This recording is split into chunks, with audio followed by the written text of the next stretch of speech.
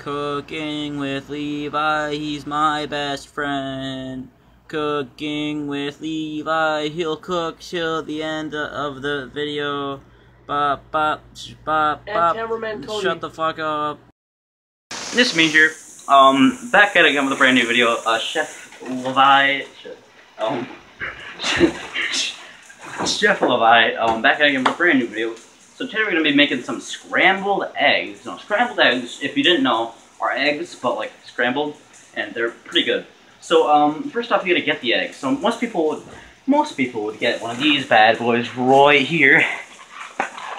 With good dye on them. They got the little things. They got But good dye on them. we're gonna go egg hunting. So, um, oh yeah, we didn't put one of these in here before the video. Um, this one's got a special dot.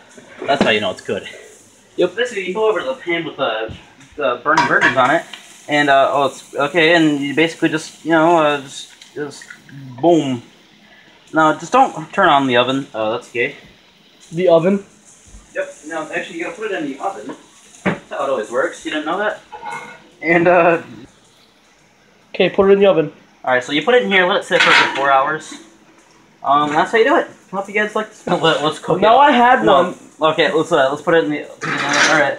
And uh, wait, good four hours. We'll be right back with you.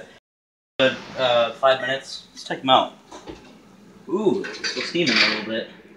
So uh, these are some good eggs. Uh, you can see they're scrambled and not fried. Um, you have to, especially, you have to put them on the top shelf for them to be uh, scrambled, not fried.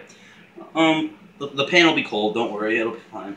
Um, uh, yep, there, there you go. It'll also it'll add a totally uh, another egg in there for some reason. Why it's a little bigger. Um, hope you guys enjoy. Uh, have a good one.